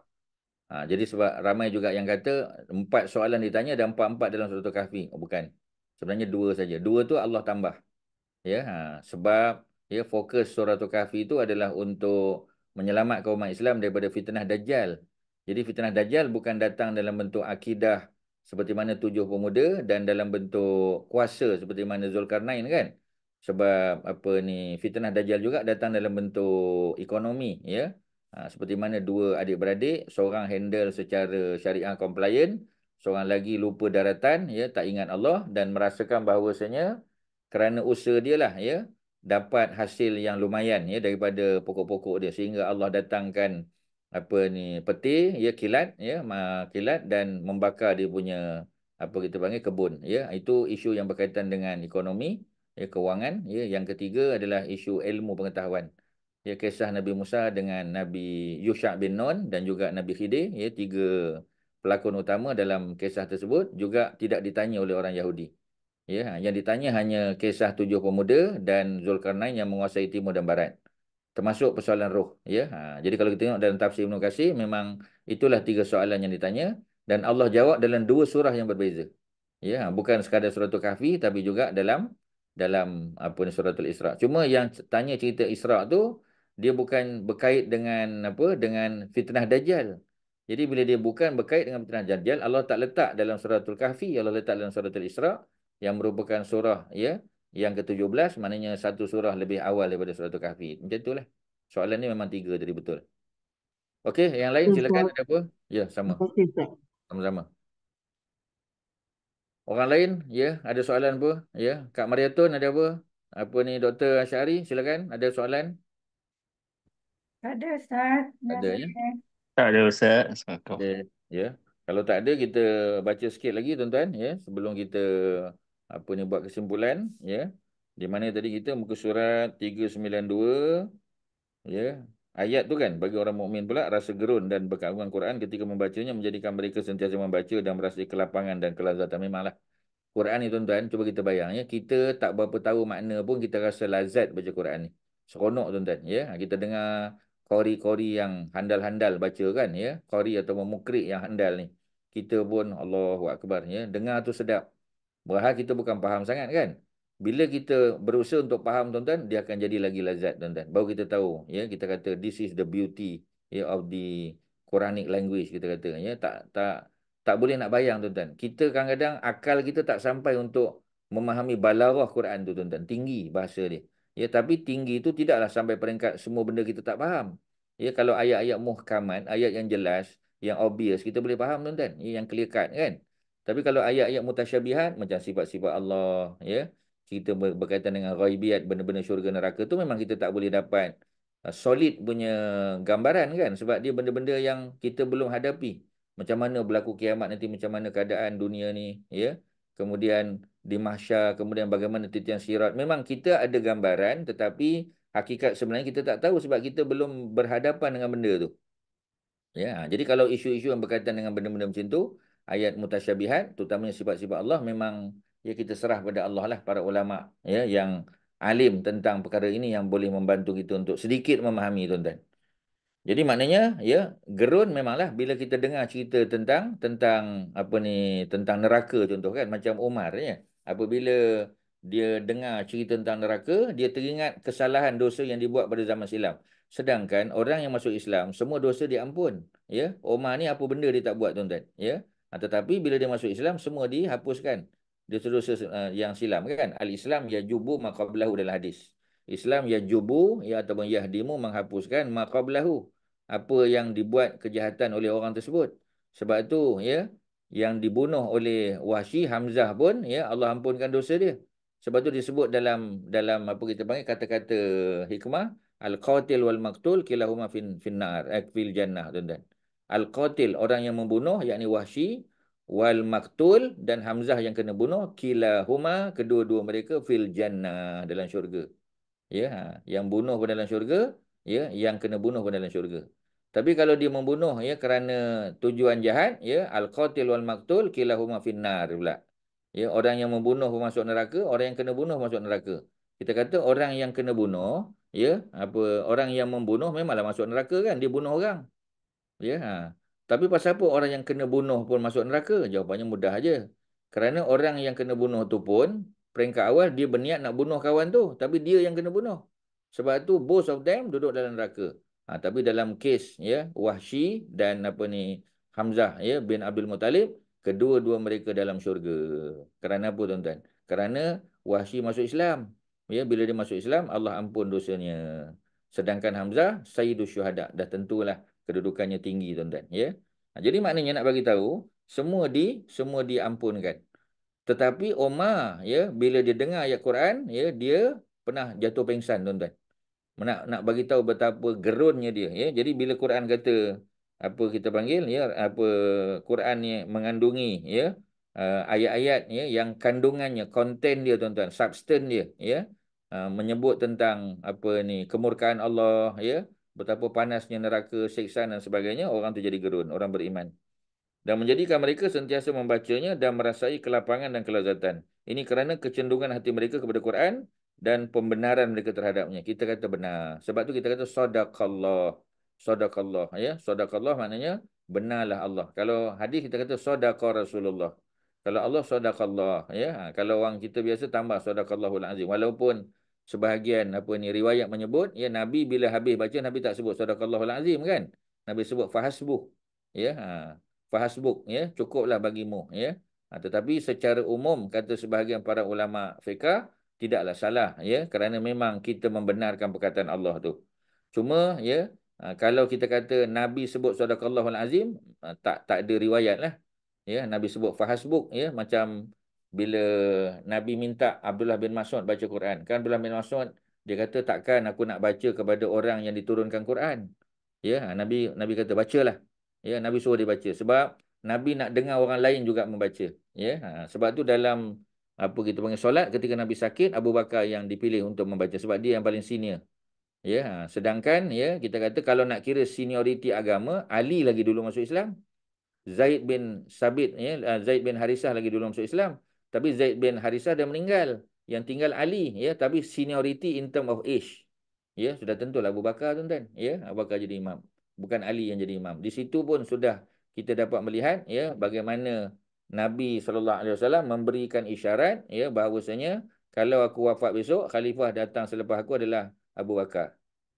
Ya. Ha. Bukan maknanya Ali tak hebat, Ali hebat juga tapi belum masa lagi.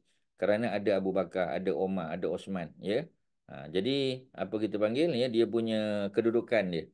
Jadi gerun tak mereka gerun tuan-tuan, ya kecenderungan hati mereka kepada Quran dan pembenaran. Ya, ha, sebab itu sedekah, sedekah Rasulullah benar apa yang Nabi sebut.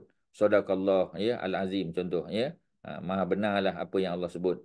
Ya, jadi cuma kita tak sandar kepada Nabi saja. Tapi perkataan tu tidaklah salah. Ya, ha, cuma macam tadilah bila sahabat baca Quran kepada Nabi, Nabi bila sampai kepada keadaan Nabi menangis dah, ya, Nabi kata fahasbuk, cukuplah. Cukuplah bagimu. Ya maknanya tak jangan baca lagi sebab nabi akan lagi sedih dan dan menangis. Tak tak apa kita mana tak sampai hatilah nabi dengar benda-benda macam tu. Sebab bila nabi mengenangkan ya betapa ya orang-orang yang nabi sayang orang-orang yang nabi harap mereka masuk Islam mereka tak masuk Islam mati dalam keadaan tidak bersyahadah macam ya Abdul Muttalib apa ni Abu Talib ya bapa saudara nabi yang dulu-dulu macam bapa nabi mak nabi ya datuk nabi itu hidup di zaman fatrah. Di zaman belum datang wahyu ya belum lagi nabi dilantik menjadi rasul. Jadi mereka hidup zaman fatrah dan zaman fatrah ni tidak diazab. Ya ha. wa makunna muazibin hatta nab'asa rasulan dalam Quran ya Allah sebut. Wa makunna muazibin kami tidak akan mengazab sesuatu kaum hatta sehingga nab'asa rasulan. Kepada orang Quraisy di Mekah mereka tak ada rasul sejak zaman Nabi Musa ya zaman Nabi Isa sampai zaman Nabi Muhammad 600 tahun tak ada Nabi dan Rasul. Zaman itu adalah zaman fatrah dipanggil. Ya fatratun minar rusul. Satu zaman kita kata ada vacuum, tak ada Nabi dan Rasul. Maka apa yang berlaku? Ya, kalau mereka hidup pada zaman tu macam Datuk Nabi Abdul Muttalib, nenek Nabi, ya, Fatimah apa ni binti Amar, ya. Kemudian mak bapak Nabi dan orang-orang yang hidup zaman tersebut yang meninggal sebelum Nabi dilantik menjadi Rasul, mereka dianggap golongan fatrah dimaafkan. Ya, kedudukan mereka di sisi Allah yang maha tahu lah tuan-tuan. Tapi kita tak boleh kata dia kafir ke dia tak boleh tuan-tuan. Tak tak layak lah. Dia tak sepatutnya. Ya? Ha, kerana ada ayat Quran yang menyebut kami tidak akan mengazab sesuatu kaum sehingga mereka diutus ya, ataupun diutus pada mereka Nabi dan Rasul. Macam kita kata orang yang duduk tengah-tengah hutan tu. Ya, orang apa kita panggil orang asli tak pernah jumpa Islam, tak pernah dengar, tak pernah tahu. Mati ya dalam keadaan dia mati dalam dalam keadaan tak ada agama. Dia percaya pada animisma sebagai contoh ya pada roh-roh baik dan jahat. Mati dia macam mana kedudukan dia? Adakah Allah azab? Kalau balik pada ayat tadi Allah takkan azab kerana tak sampai pendakwah. Ya, ha, walaupun dia duduk di hutan tu kita kata taklah jauh sangat daripada bandar kan.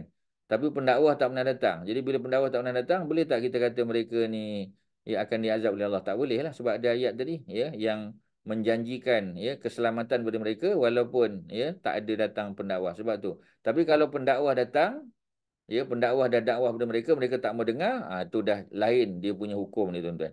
Ya, ayat terakhir kalau kita boleh tengok di sini kita habiskan ya tak syairu ya yang menggementarkan ya yang qasya'ar ya tak syairu ya. Ha, jadi iktash ik, yang dipanggil apa? Iksya'arrah, ya, iksya'arrah. Dia punya verb, verb dia, past tense dia, ya. Apa, satu, dua, tiga, empat, lima, enam. Enam huruf, ya. Ikta, iksya'arrah, iksya'arrah. Ya, payah sikit, tuan-tuan. Ya, nak, nak sebut pun payah.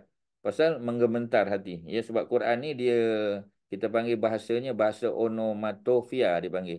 Onomatopia, itu dalam linguistik, tuan-tuan. Onomatopia ni adalah sesuatu istilah perkataan yang bila kita dengar pun kita kata, hmm, memang kena lah. Ya memang betul. Ya macam perkataan mad madah min dot min dot tak marbutah. Mad madah apa makna mad madah berkumur-kumur. Cuba kita ambil air masuk dalam mulut. Macam mana bunyi dia tuan-tuan? Mat mat dalam mulut kita. Ya maknanya Allahu akbar. Perkataan yang sesuai dengan bunyi dia tuan-tuan. Dia dipanggil onomatopia very onomatopic tuan-tuan ya. Kerana apa? Kerana bunyi ya bunyinya dengan istilahnya namanya kita kata se apa kita panggil ya seiring dan sejalan. Ya itu hebatlah bahasa Quran ni tuan-tuan ya. Jadi tak syairu minhu juludul ladzina yakhshawna rabbahum. Jadi gementar kulit orang yang takut kepada Allah. Ya julud adalah kulit-kulit allazina orang-orang yang yakhshawna yang takut kepada rabbahum Tuhan mereka. Summatalinu juluduhum ya. Kemudian kulit dan juluduhum wa qulubuhum hati mereka ya ila zikrillah ya Ha, jadi hati, kulit dan hati mereka menjadi lembut. Talin. Ya, daripada lana yalinu. Ya, ha, dia panggil lin. Ya, maknanya lembut hati dan dan apa kulit mereka. Ya, kerana mengingati Allah Subhanahu Wa Taala. Itulah tuan-tuan yang boleh kita sampaikan pada hari ini. Sampai muka surat 392. Ya, tuan-tuan boleh tandakan. InsyaAllah akan datang muka surat sebelah dia lah. Sekadar tu, ya. Apa ni PMP ada apa-apa pengumuman silakan. Cuma uh, besok, insyaAllah petang besok, uh, kelas Tadabbur Al-Quran bersama Ustaz Aizzuddin. Semua dijemput. Terima kasih pada PMP, pada Sister Shima, ya, pada Brother Shuib dan semua apa kita panggil, ya, uh, AJK, kaki tangan, ya, dan tuan-tuan dan perempuan yang masih sudi ya, menghadirkan diri dalam program kita. Terus sokong program PMP, mudah-mudahan ya ada manfaat ya di dunia dan di akhirat. Wassallallahu ala sayyidina Muhammadin wa ala alihi wa sahbihi wa sallam alhamdulillah alamin. Assalamualaikum warahmatullahi wabarakatuh. Waalaikumsalam. Terima kasih Ustaz. Sama. Terima kasih Ustaz. Sama ya.